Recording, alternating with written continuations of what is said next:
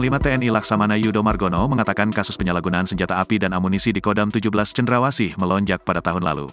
Berdasarkan data TNI, lebih dari separuh jumlah perkara penyalahgunaan senjata dan amunisi sepanjang 2022 terjadi di wilayah Kodam 17 Cendrawasih.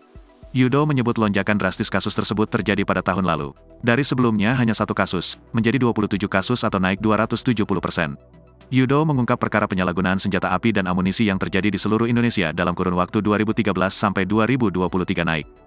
Pada lima tahun terakhir pelanggaran naik bertahap sampai puncaknya tahun 2022 terjadi 45 perkara penyalahgunaan senjata api dan munisi, ujarnya. Lebih lanjut, Yudo mengatakan pihaknya akan melakukan evaluasi buntut kasus penyalahgunaan senjata api ini. Menurutnya, masih ada perbedaan hukuman terhadap pelaku penyalahgunaan amunisi khususnya yang terjadi di daerah operasi. Prajurit TNI yang menjual senjata api atau munisi kepada pihak musuh atau kepada orang yang diketahui atau patut diduga berhubungan dengan musuh oleh karenanya dapat dikenakan pasal 64 ayat 1 KUH PPM sebagai pengkhianat militer dan ancaman hukuman mati, pidana penjara seumur hidup atau pidana penjara maksimal 20 tahun, katanya. Perwira Bintang 4 itu menegaskan pelaku penjual senjata api harus dijerat dengan pasal berlapis dengan ancaman hukuman mati.